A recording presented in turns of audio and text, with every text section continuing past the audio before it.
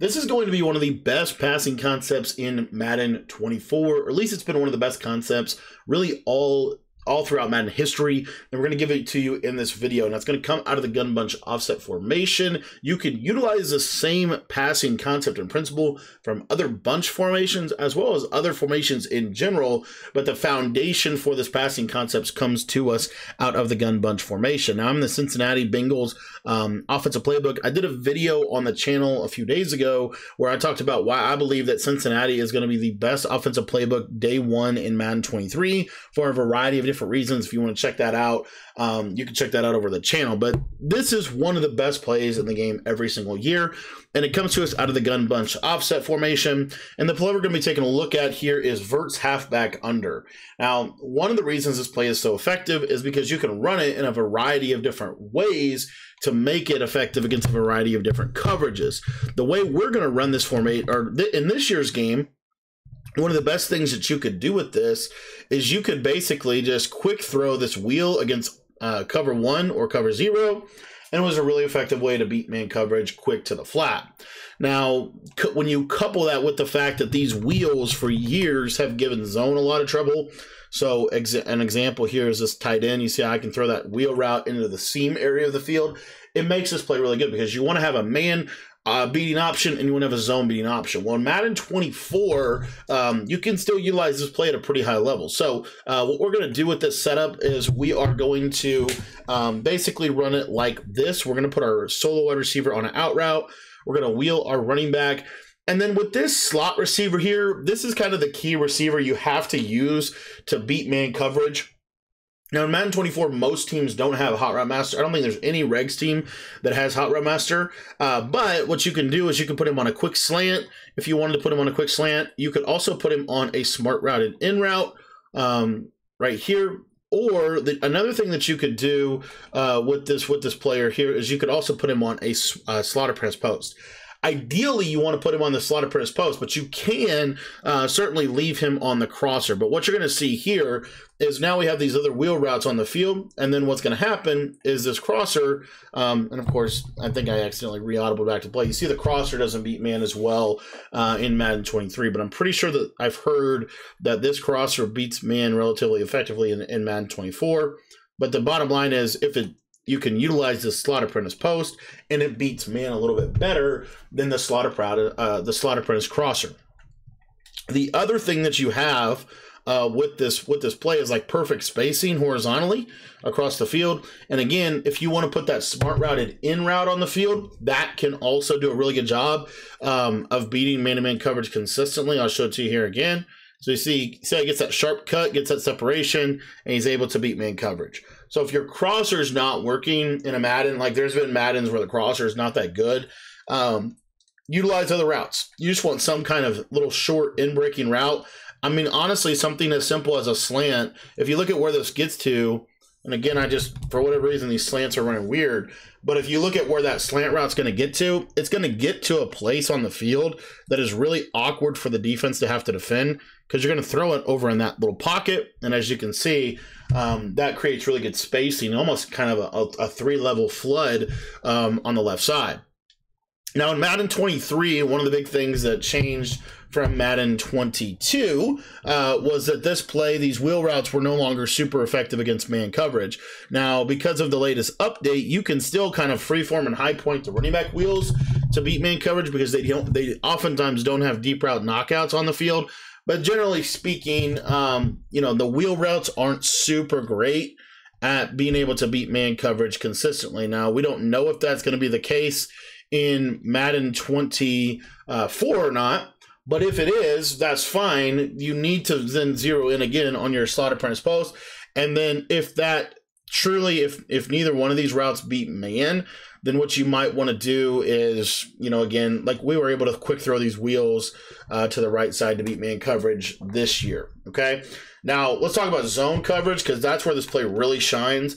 Is how it breaks down zone coverage really, really, really well. So what you're going to notice here um, that this play is going to do for you specifically against zone is first and foremost you have this quick throw out route. So that that forces either a man up or hard flats on that left side of the screen. So they have to have some kind of uh, flat defender. So typically, what that might look like would be, you know, again, they're going to have to go through some links to adjust this. Um, you might you might have this guy in a flat, this guy in a yellow, and then you know they're maybe using this hook curl, for example. So they have to have hard flats on both sides of the field to be able to defend this and those hard flats have to play with good leverage. Um, the other thing is, you see there, see how that tight end was defended by the hook curl? Typically, what's going to happen is that hook curl defender is going to be forced to have to choose: Am I going to guard the tight end, or am I going to guard that uh, slot apprentice crosser or that slot apprentice post? So what you'll see here is you can kind of hit that. Now, in this year's game, and I'll show you the running back route.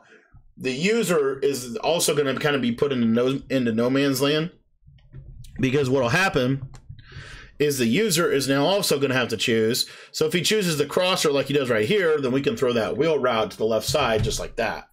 If the user sides, well, I've got to go uh, defend that. I'm going to rely on that hook curl to do the work on the left side, and I'm going to user the running back out of the backfield.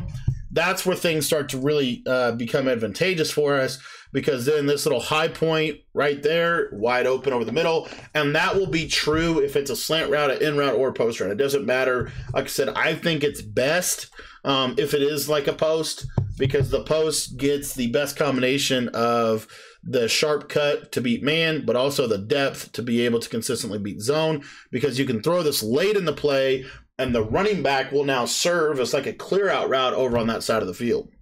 Now, this gets even harder for them to defend the more um, they have to adjust to the running back. So you'll see right here, another thing against cover three is you can throw this back in there, and you see all these little windows that these vertical seam routes are going to be able to provide for you. This is why wheel routes year over year have been one of the best routes in Madden for as long as I've been playing. They're really good routes. You ideally the best way to defend them from my experience is to try to cross man them which doesn't always work. Um, but you'll also see here against cover two, then I can throw that deep uh, that deep route over there on the left side to um, to that to that guy over the on the on the or I'm sorry on the right side there.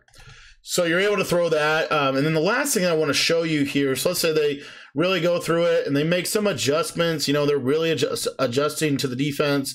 Maybe they do some cross man. Uh, again, got a vertical hook here, and then we also have a hard flat. I want to show you what happens with this running back wheel because I'm going to use her.